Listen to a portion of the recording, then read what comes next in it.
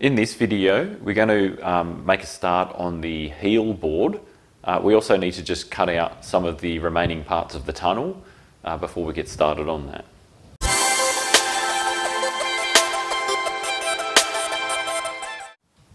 So the progress, what we've up to so far, in the previous video, you would have saw me sort out the, um, the toe board uh, panels. Uh, what we need to do today is just, we can remove out this section of um, the tunnel and I need to sort of prepare this um, the toe board um, and do some repairs on that before we get that ready. Okay, so I've decided to flip the moke up on its side. Um, it's going to make it a lot easier to sort of see what I need to fix for this um, he um, the, for the heel board. So I used um, a spot weld removing drill bit to get rid of some of those welds.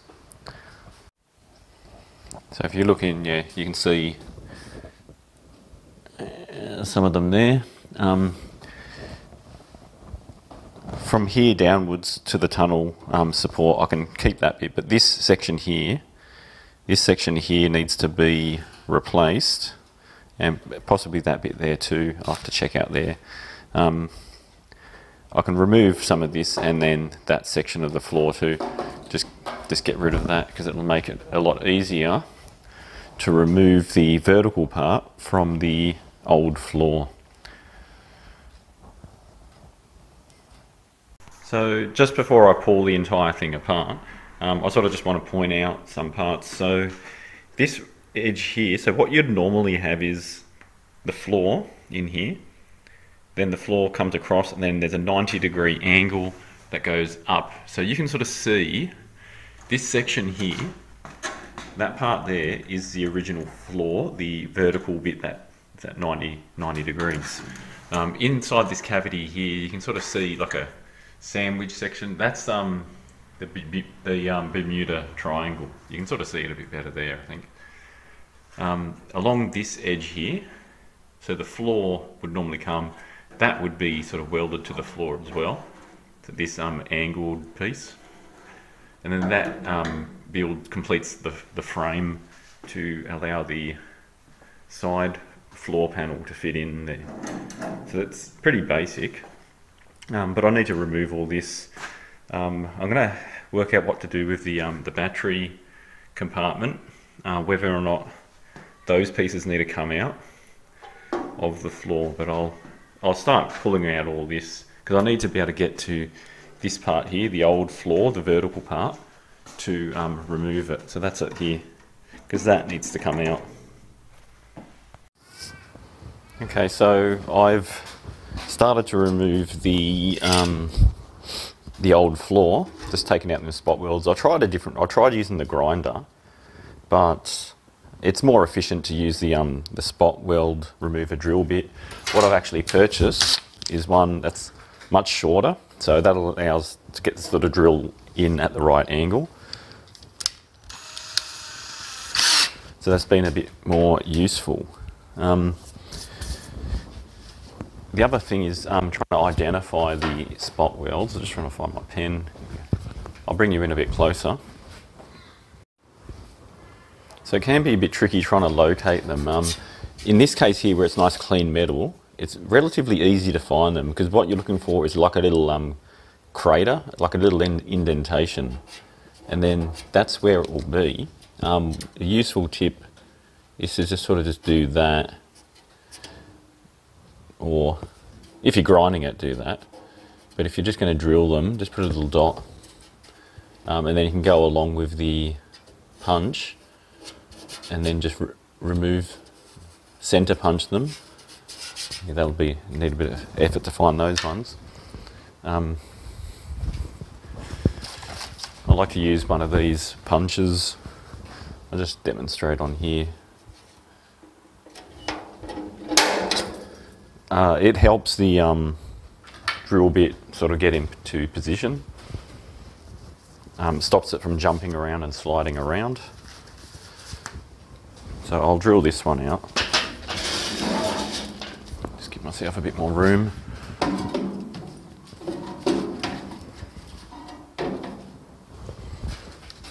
Okay, we'll go for this one.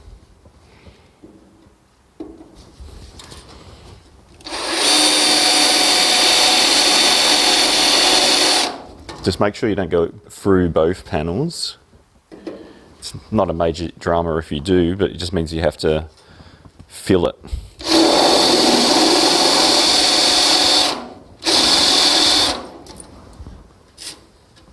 I think the best way to do it is like work your way along because then you can sort of jam a screwdriver underneath and then it will um, sort of pop up.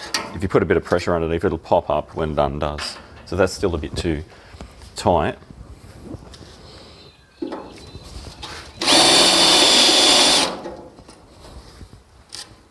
Okay, what you can see now, I don't know how well you can see that, I'll just bring you in a bit closer.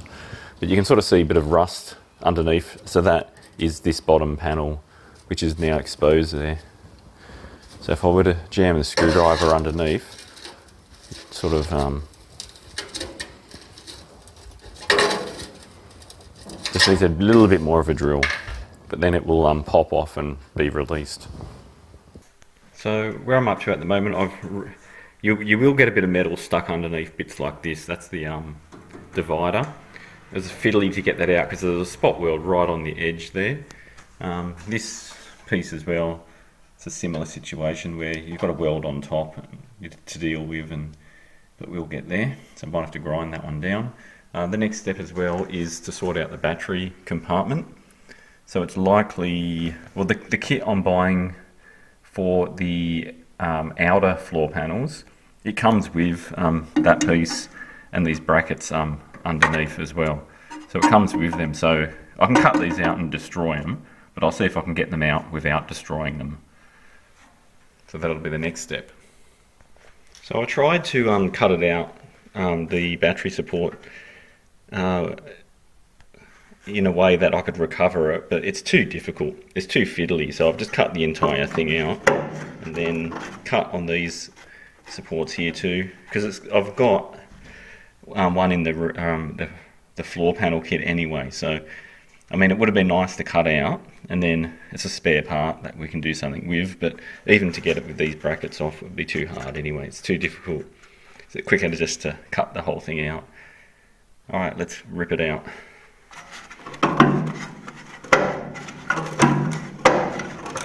wasn't sure wasn't sure if there's a weld underneath here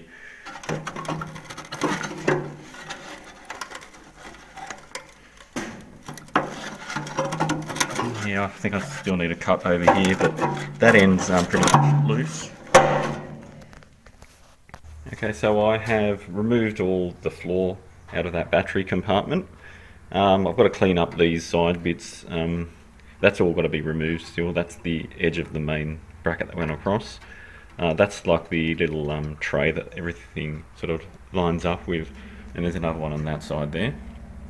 Um, these brackets, I believe they they're the actual um, end pieces of the floor supports, um, and then the, the spot welds have just broken loose. Alright, so now I just need to finish drilling out these spot welds and then removing the old piece of floor. Okay, so got a bit more progress. Um, I've started to remove the vertical panel off the um, the cross member for the seats. Um, it's very fiddly to try and find the um, spot welds where they are because it, it's not always um, clear just by looking at the paintwork where they are. Um, one technique I found useful was just cutting cutting all the as much of the vertical part out as you could and then just put um, some angle grind, some slits in there. You can sort of move those bits and it kind of will reveal where the actual spot welds are. Uh, what else have I done? Sort of just cleaned up this corner a bit more. Um, that's ready to sort of have the parts cut out and then replaced with new metal. I still need to grind these tabs down for the um, battery support. And of course the the ends of the brackets are still up here so I'll get them out once it's inverted.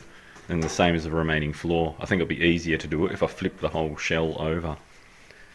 Um, so I'm sort of just yeah I'll finish off that cross member and then we'll see what we'll do next Right, so that was a bit of a challenge to get this vertical panel for the um, seat cross member taken out but I've managed to um, get that all out now, so that's ready.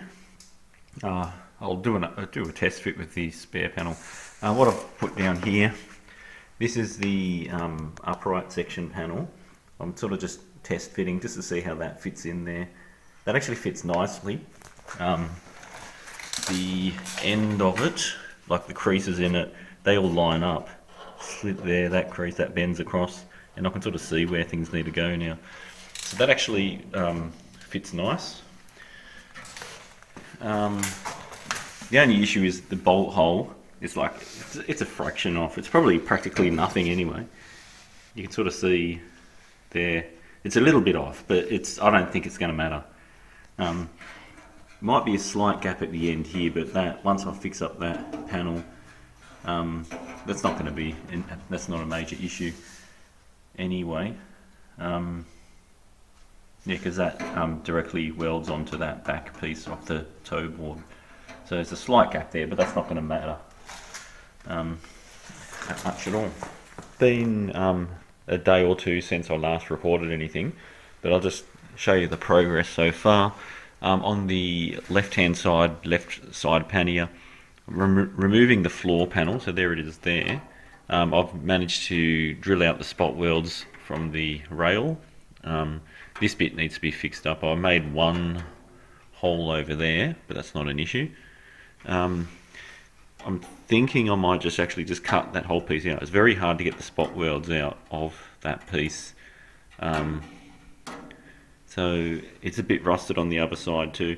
So it may just be better off to replace that whole corner piece. Uh, what else have I done? Up the top here, um, I need to remove the floor for the, the right hand side pannier. Um, in order to do that, you've got to, I've got to mark the spot welds and then drill from the other side because the floor is underneath that panel, but I want holes in that. Um, just one little trick I found if you get your torch or light source at the right angle, because um, like looking like that, it's like where I put the black dots, that's the spot welds, but it, you wouldn't know that that's where the spot weld is.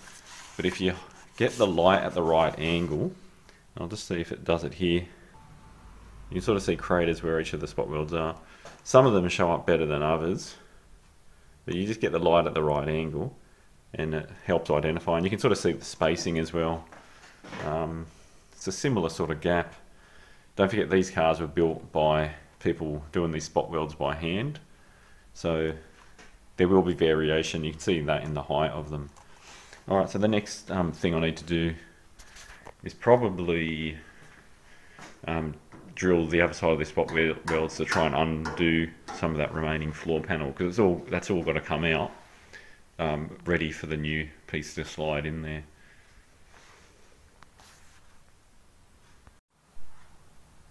Okay, so the update so far on the progress, um, I've removed out like most of the floor um, panel section from this side, the right side of the car.